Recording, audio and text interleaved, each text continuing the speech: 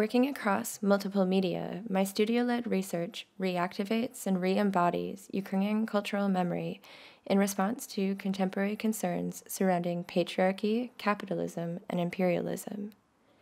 Interwoven through notions of selfhood, spirituality, and social responsibility, I embrace epistemologies historically dismissed, investigating how the past is continuously modified to shape our current psyche and conceptions of the future, forever in flux. Taking form as a fragmented allegory, I utilize poetics of precarity and dissonance to expose the fragmentary nature of cultural recall and how traditions exist amidst generational slippage. My frame of reference is subjective, yet expanded through critical rearticulations of reciprocal knowledges and practices. I believe that intercultural dialogue holds emancipatory potential for both humans and the earth to reconnect in mutually beneficial ways. The works presented for ritual and lore are part of a larger project titled Our Ancestors Exist as a Reliquary of Whispers. The project's departure point was through archival research into familial and state archives, generational return, oral histories, and material culture analysis. Solastalgia is a neologism that describes emotional and existential distress caused by global environmental decay, heightened by capitalism's siloing of the individual. Its synonym is eco anxiety. Solastalgia is a singular malady of a much wider spectrum caused by the proposed current geological epoch, the Anthropocene.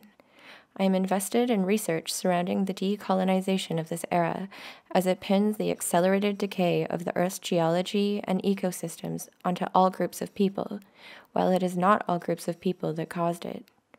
The inclusion of under-acknowledged ways of viewing and being in the world can veer us away from apocalyptic pessimism the terms diaspora and the Anthropocene are intricately entwined, as they are both systemically created, implemented, and controlled. They both cause affect in the form of anxiety and isolation. Folklore, for me, pertains to the cultural expressions that implicate how our ancestors lived and related to their natural environments, the material culture that circulated, the rituals and belief systems connected to their natural and supernatural worlds. It is best to approach your work with mental clarity and good intentions, something that I bring into my own practice when doing cross stitching. I was taught by my mother. Comparatively, I consider contemporary psychotherapy techniques such as mindfulness and how similarly these manifest. In Veils of Forgetfulness, I placed dissolving cross stitch patterns onto waste canvas Echoing capitalist critique, I reposition the importance of practice over product. Solastalgic Soliloquy was filmed in Glasgow, the Ukrainian Cultural Center in Regina, and the Białowieża Forest in Poland, which is the last primal forest in Europe.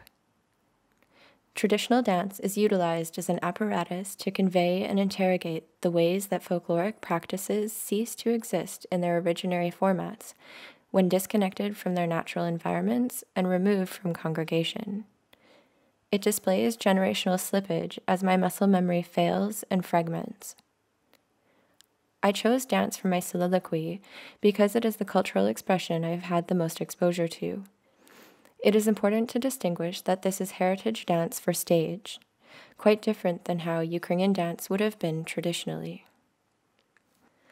The audio selected for the work is an orchestral number titled Chardash, which is the first symphonic composition based on folkloric music. Originally a Hungarian call to dance, it was later used by the government as a call to arms. Personally, for me, it was a solo number performed by the orchestra that I danced to growing up. It was used as a time filler for us to change out from one regional costume to the next.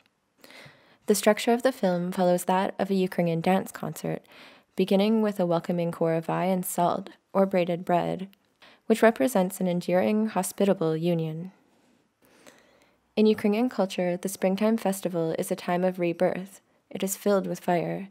Jumping over it, using it to light wreaths which are later released into the water, read as a divination practice for future love. Fire is also symbolic to remembering, as candles are lit for ancestors passed on.